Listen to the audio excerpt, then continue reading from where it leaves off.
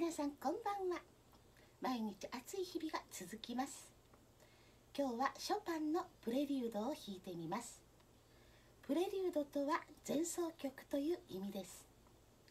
大谷さんの CM でおなじみのプレリュード。少しずつ練習を楽しみながらやってみる。これはピアノを上達する上でも大切なことです。ショパンのプレリュード。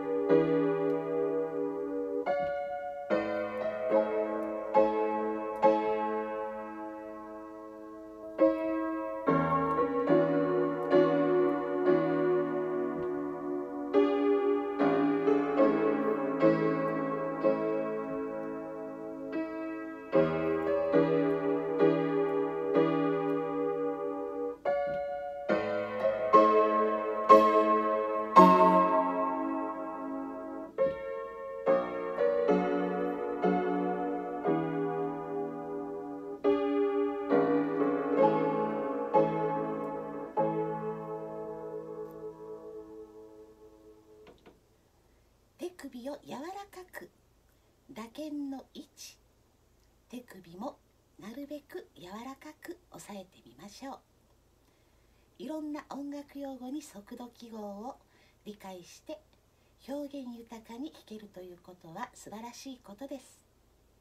プレリュード前奏曲という意味です。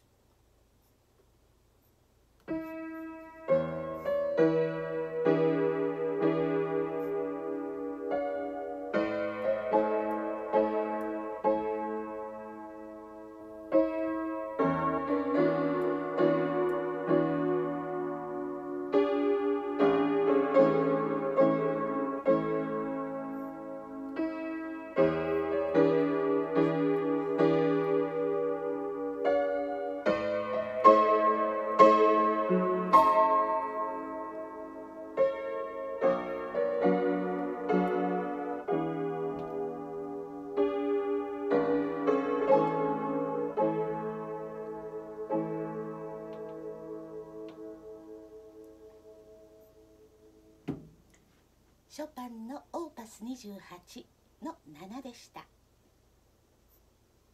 明日も楽しいレッスンを。